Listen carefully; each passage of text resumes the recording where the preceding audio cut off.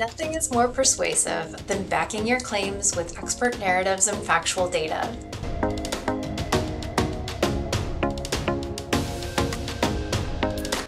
Hi, my name is Lauren Bryant and I'll be teaching Info 150 at Shoreline Community College.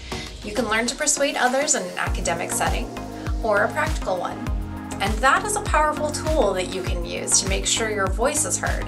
Research is a conversation that is happening between the person who wrote the academic paper and all the different people being quoted. And sometimes it's a vibrant and heated conversation that can be exciting if it's a topic you care about. Not all information is good, and even though some of it, while great information, might not be ideal for the thing you need it for.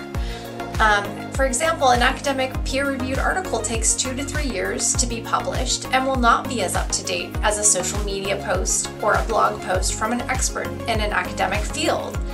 Um, other times, you'll want to use the most reliable source because if the information is, is false or outdated, your own credibility is at risk in the classroom or even in a professional setting. Learning to quickly and easily obtain information that is relevant can absolutely give you an edge in your other classes. This class is designed to make college easier for you after you take it.